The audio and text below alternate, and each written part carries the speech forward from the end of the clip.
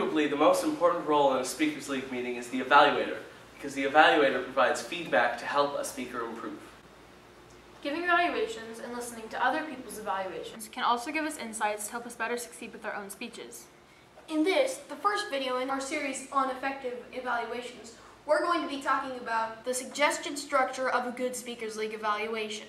The most important thing to remember when you are evaluating someone is that you have to be in service to the person you're evaluating. What does it mean to be in service to another person? It means that what you are doing is about that other person and not about you.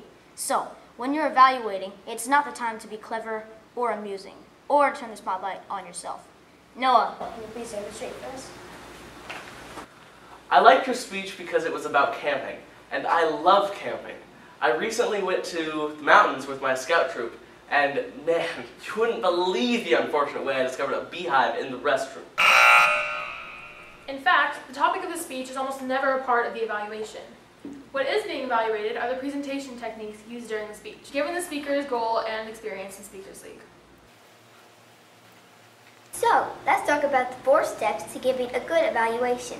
They're all on the Speakers League evaluation forms. Step 1, 2, 3, and 4. Price, could you please demonstrate?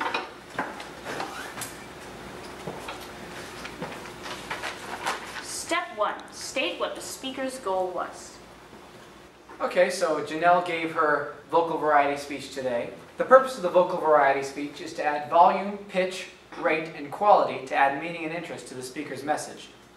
That's really all there is for step 1.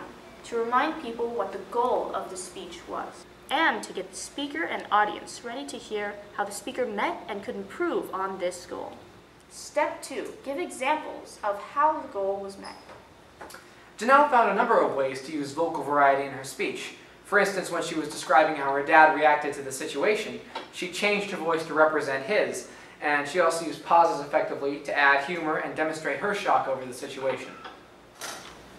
Step 3. Suggest one or two areas for improvement generally related to the goal of the speech or skills covered in previous speeches. One of the things I focus on when I'm giving or evaluating vocal variety speeches is the pacing, or how fast you're talking. Uh, this is an area where I think recording and listening to yourself may be helpful. That way you can hear how it's harder to understand when you're speaking fast, or things like that. You might also hear how funny it is when you use different voices, like how you used your dad's in your speech. I'd like to hear even more of that. I think it was at those times that the audience was most engaged. See how you can provide criticism, but it is done with some suggested techniques for improvement. Finally, step 4. Close on a positive note. As always, you looked professional, and I thought you showed a lot of eye contact. Your gestures and your confidence were also very good. You obviously spent a lot of time practicing your speech, and it really paid off. Mr. MC?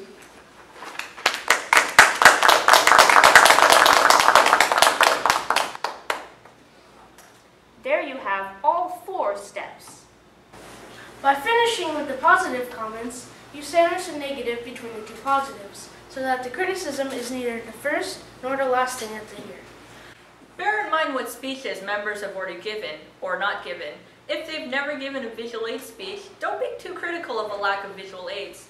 If they are giving a visual aid speech and have previously done a gesture speech, feel free to mention successes or ways to improve gestures. You've probably heard the term constructive criticism. We'll learn more about constructive criticism versus destructive criticism in part two of our series on effective evaluations. Be sure to check speakersleague.com slash video or the Speakers League channel on YouTube for all of our training videos.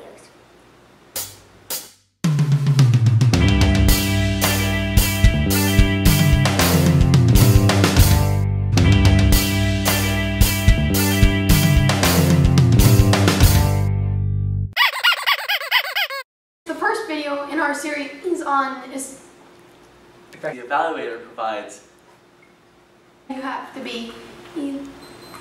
Step 3. In fact, And to prepare the the topic of the speech is almost never mentioned in and to better improve is almost never about Okay, so uh, today, Give an example on how Uh, he gave his uh, speech on um, camping. And I just want to say, I L-O-V-E, love camping. But the thing is, we didn't know the There was a beehive in the restroom. you would not even believe. It's a beautiful view. But unfortunately, Some kid was crying over a popped beach ball.